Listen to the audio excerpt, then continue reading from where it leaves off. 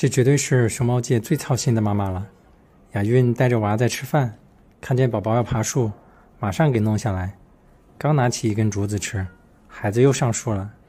正要吃呢，一看孩子又上去了，立马起来拽他，把宝宝拉下来。宝宝不服气，还要还手。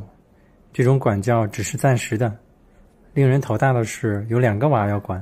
这边刚扒拉下来一个，另一个趁雅韵不注意也上去了。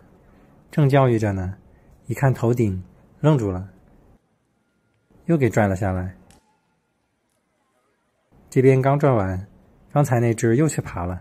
好啦，又来活了。雅韵又去拉孩子去了。这只已经爬得很高了，气得雅韵咬树皮。这气还没消呢，刚才那只也爬上去了。雅韵跳起脚跑过去，把它弄下来。行了，这边算是管不了了。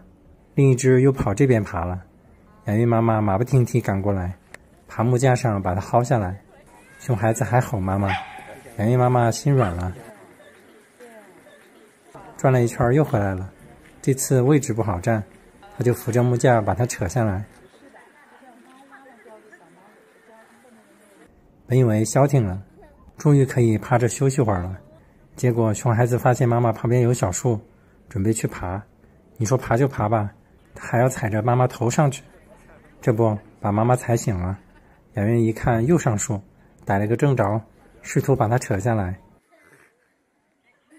快下来了，雅韵想垫个背给他踩着，结果他踩着又上。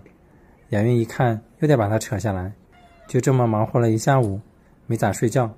雅韵妈妈可太不容易了，还好有奶爸奶妈。